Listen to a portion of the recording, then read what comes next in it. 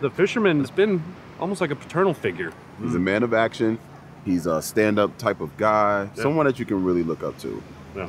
Someone I would strive to be, really. There you go.